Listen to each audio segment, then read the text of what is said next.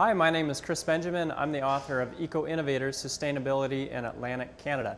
Now, in Atlantic Canada, more than 90% of the food that we eat is imported from other regions and especially from other countries. That has a huge environmental impact in terms of transportation, carbon emissions, but it also makes us dependent on faraway sources, companies, and countries for the food that we need to survive, and that's a vulnerable position. But here at Local Source, uh, which is a store in the north end of Halifax owned by Sean Gallagher, all the food that you see is produced locally, except of course the coffee.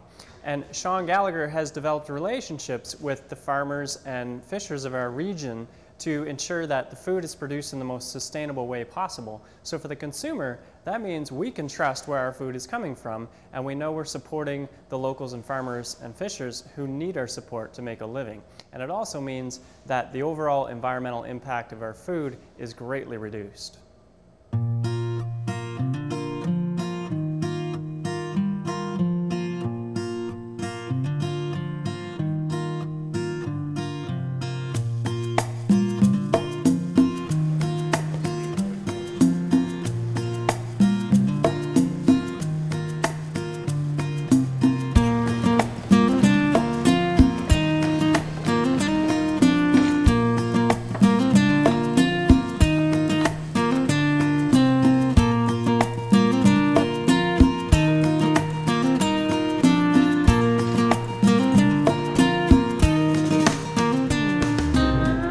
Originally, we started a catering company called Terroir, which means wine speak, taste of the region, the microclimate, what makes wine taste particular on one bank versus the other bank, and applying it to food. So, you know, a, a local taste. And just out of thin air, I pulled local source catering as a descriptor for that. This is our catering kitchen. This is where we, when we moved here five years ago, this is all we focused on. This is where all the magic happens and all of our work. Uh, we are first and foremost the catering company, so this is where we cook things that go off-site. Whether it's for a wedding or for a simple lunch meeting, this is where it all happens.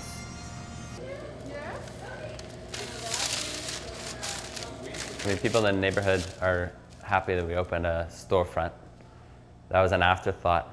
I mean, it was based on their request for us to open a storefront. Originally, I just wanted to have a private dining room where people could come and eat delicious multi-course dinners paired with great wines made with local food. Um, that's my background and my expertise. So opening up kind of our storefront was a whole new business venture and um, eye-opener because it is a service. It is something that I grew up with in Ottawa, having a, a high street where you could go to the, the butcher on the corner and get your bacon. Um, you could get eggs and go down the street and you can pick up your fresh bread daily if you wanted to. So, I mean, I, that's super valuable for me as part of a neighborhood to, to get back to small, uh, artisanal types of shops that are specialists So Wednesday is a nice busy day because we have a bunch of CSA customers coming in to pick up their weekly boxes. So we make calzones. We've put away the tomato sauce in jars and use it for our internal cooking needs. Um, calzones, there's, there's always the fiducia, which means trust the chef, and that's a special that rotates. They're delicious, people love them. Um, but we bake every day for cafes uh, and for our catering and for the shop.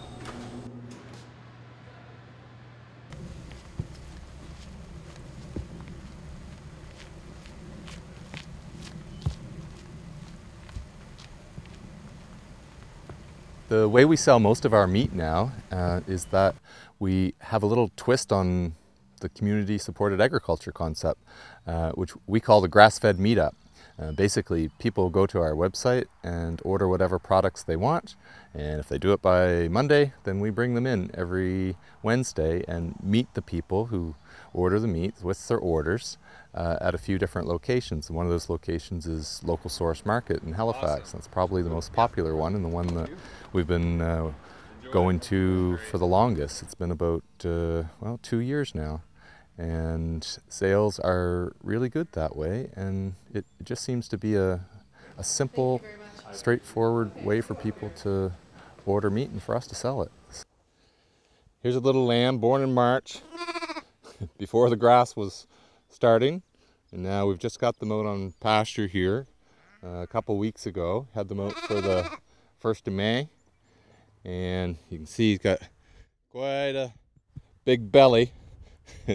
His mama's milking lots of milk now on this fresh grass. And uh, I think he's probably nibbling a little bit himself. Go. Thank you. Whoa, Debbie. I know. Most people who farm cattle or sheep or pigs or whatever, they, they don't get to meet their customers. They sell on what's called the commodity market, where everybody sells for a kind of a, a price that the market defines. And uh, me, I, I just get to uh, go and, and uh, take the meat directly to the people who eat it.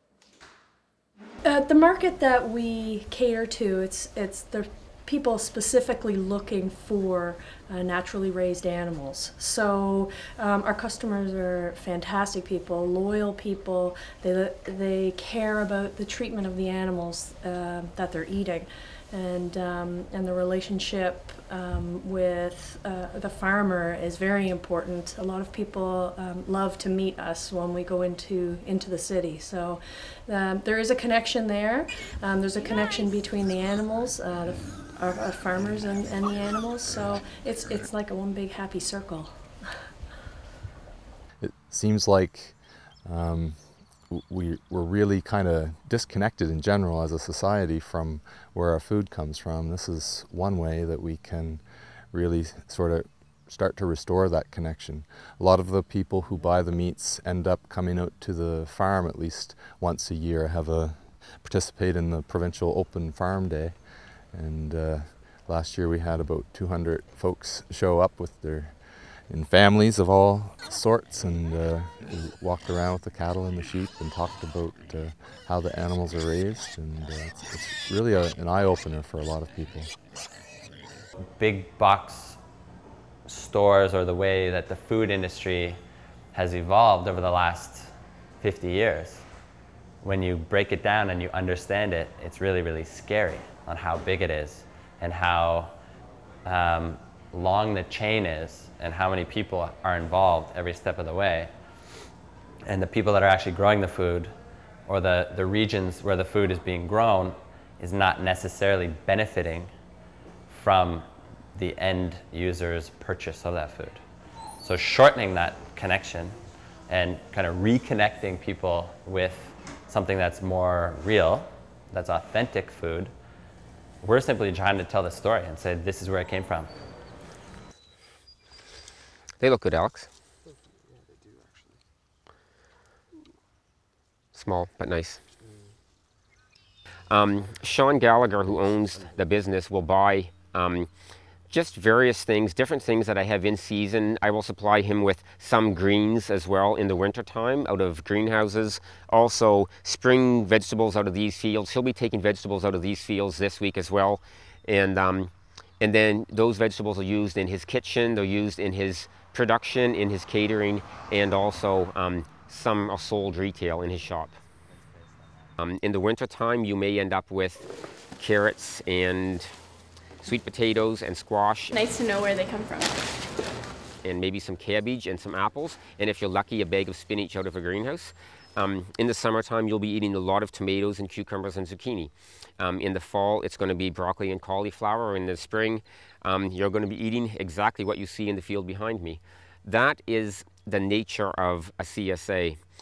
Um, it is, it's interesting in the sense that a lot of families with children have signed on to it. Families with children will sign on and they will say, you know, we want our children to understand that radishes are a spring summer crop.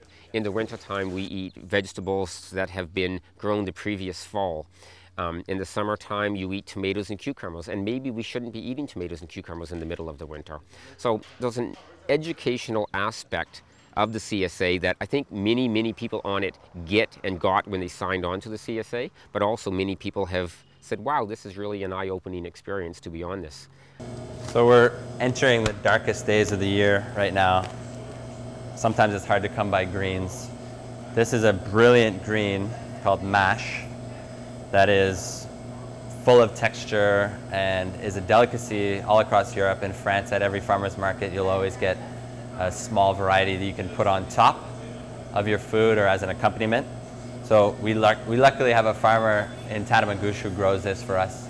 And we're kind of like, as soon as it's available, please give it to us. We'll buy everything you have because it's so delicious.